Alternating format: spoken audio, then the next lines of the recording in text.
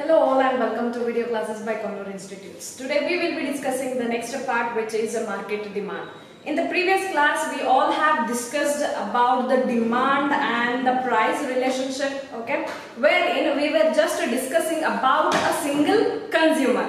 So here keeping in mind that he was the only person wherein we have seen how his behavior changes according to the price if the price changes right? So if the price changes then the quantity demanded by him will also varies according to the price which has been changed. So this was only wherein we had studied about a single consumer. But when we are considering or when we are talking about a market, is it is it only a single consumer buying in the market or there are so many people buying uh, the commodities in the market? So it's like a whole bunch of people or whole bunch of uh, consumers will be buying one or the other products or one or the other goods in the market right so that's the reason when we are when we are talking about the demand curve or the demand function we have to even consider every consumers right it's it's impossible for us or it's difficult for us to just to uh, study the demand curve or the uh, change in the price the relation between the price and the uh, demand for a single consumer so here this market demand tells us about uh, the consumers, how many consumers are uh, actually buying goods and services in the market. So this is consumer 1 wherein we will be studying and this is the demand curve of a consumer 2.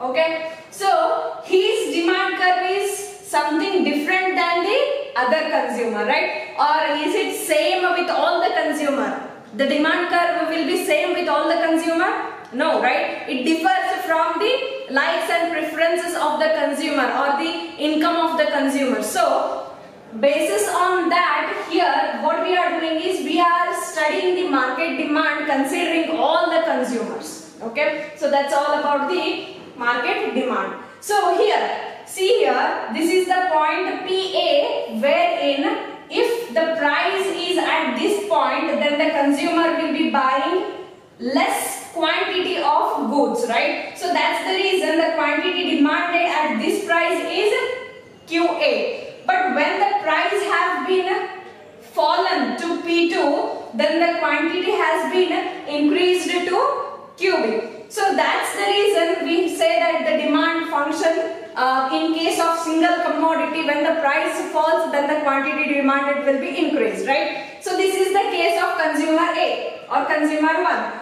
and when we are having consumer 2 because market has so many consumers.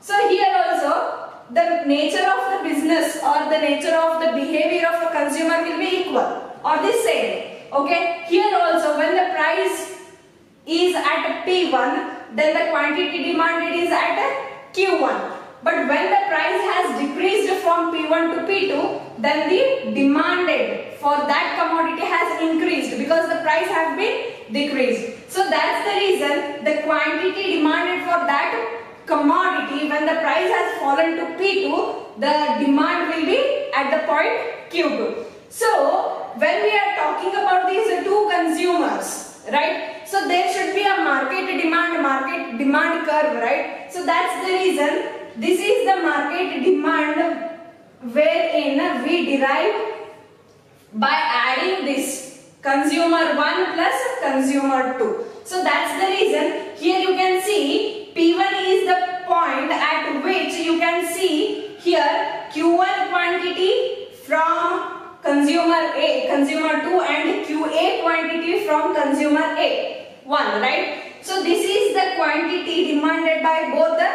consumer at the price P1.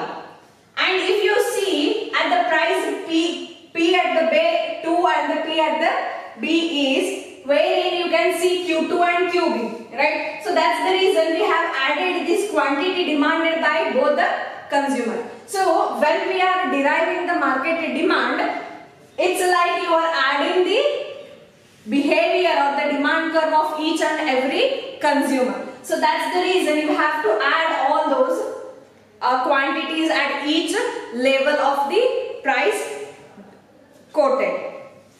So if you have example, for example, uh, demand is equal to 10 minus P. This is of for one consumer and second consumer is 15 minus P. So here we can see that the demand for each consumer is different, right? So when we have to derive a demand curve, then it becomes dP plus dP2, right? So you have to add these.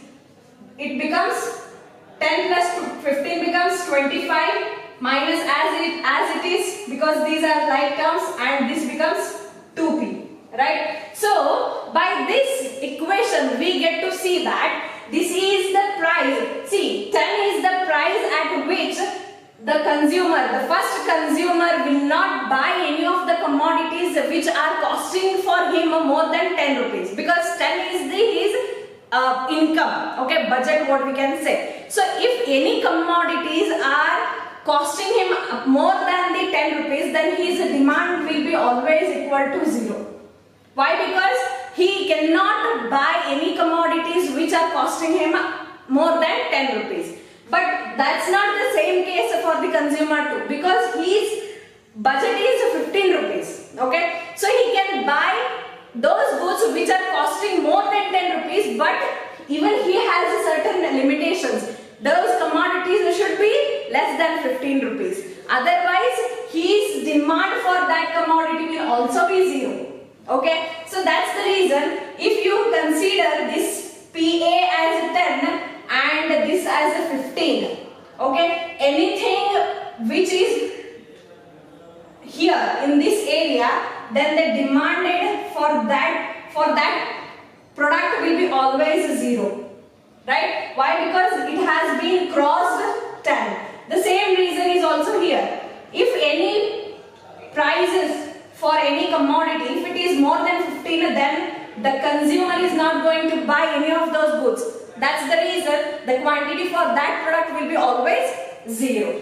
So by this equation, we get to see that the consumer has his own behavior, right? When the prices are within his income or within his budget, then only he will go to buy the goods. Otherwise, he, his demand for that product will be always 0. So this 25 minus 2p is the equation wherein we can see that the consumer demanded by the both A and B, consumer 1 and consumer 2 is 25 minus 2B. So this shows that anything more than 10 rupees cannot be bought by the consumer A or consumer 1.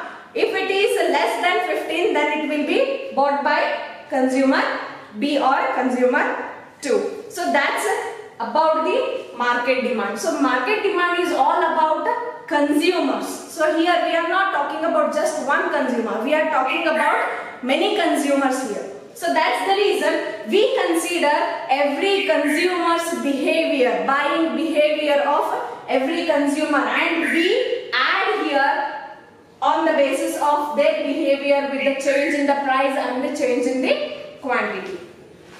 So that's the that's all about the market demand. In the next class we will be seeing more on elasticity of demand. See you all in the next video.